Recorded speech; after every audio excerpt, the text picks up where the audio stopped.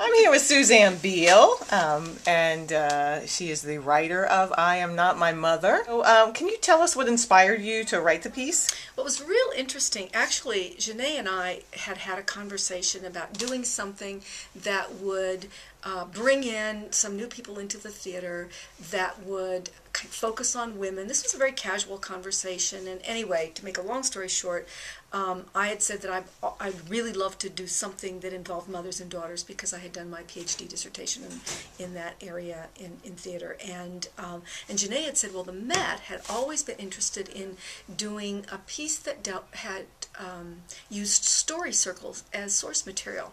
So I said, well, let's try to do that. And then I've, I said, well, how about, because you guys are always so busy, how about if I uh, do a couple of story circles and see what happens?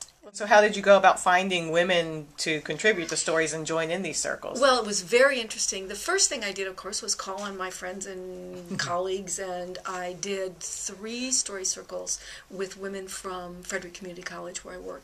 But I also am involved with the Women's Giving Circle, and I had thought that it would be a wonderful collaboration with the Met if we could support the good work of the Women's Giving Circle because um, the circle supports causes that um, support women and children in the community. And so I approached Carlos Klein and said, what if we form a kind of collaboration with the Women's Giving Circle and any profit, you know, beyond the cost of the production would go to the Women's Giving Circle and in turn uh, some of those women then might be willing or eager actually to participate in, in uh, story circles. And so I did three circles with women from the Women's Giving Circle. And then my book club and, you know, on and on and on. I did one because of a friend of mine who is on the board of the Record Street Home with the women of the Record Street Home, one of whom uh, was 100 years old. All of these women were in their late 80s and 90s. And then I also did one with sixth grade girls, which was really just wonderful fun. Um, I did one with um, African American women who grew up in, in Frederick, um, and uh, and uh, a couple of other book clubs, and on and on and on. Over about ninety women participated. How did you go about narrowing narrowing down, like what stories you what material you were going to use from all those circles? You know, that was I, I don't want to say it was arbitrary, but there was something sort of. Inst- instinctual about it. It wasn't mm-hmm. something that I did in a really logical, linear way. Uh, we had transcribed all of these, um, all of the material. I'd recorded everything, and they were all transcribed.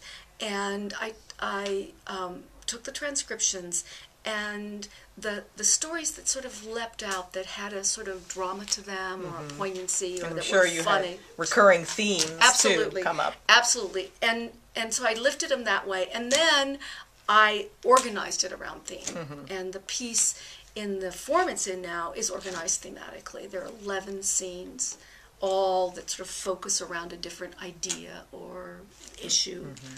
if you will. What were the main challenges you faced putting the piece together, do you think? Um, the main challenge for me was to do justice and honor to the women who mm-hmm. participated. You know, when you think about all the stories that I heard, and every single circle was very moving and funny, and mm-hmm.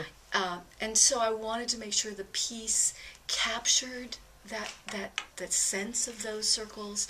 Uh, so that was really the biggest challenge. That and the fact that I had what ten hours of material and and putting that into a theater piece of about an hour. What do you hope the audiences um, will take away from them with this piece? Uh, first of all, I hope they're going to be entertained. Mm-hmm. I want people to have a good time. Mm-hmm. Um, for the women who see the piece, I would like every woman who sees this piece to see some little bit of themselves in there. Maybe a, just a line, maybe a story will resonate, maybe a piece of a song, so that it's recognizable. You know, one of the things I've often said is that you know there there is a wealth of material about mothers, and and even mothers and daughters. But more often than not, the material is at the extremes either dealing with the what I call the angel mom or the hallmark mom, or the monster mom, the horrible mom. and most of us had quite ordinary mothers, um, and and yet our relationship, which is such a central relationship for all women, um, is it it's very complicated, and um, I'm hoping that everybody who walks away from it kind of appreciates that.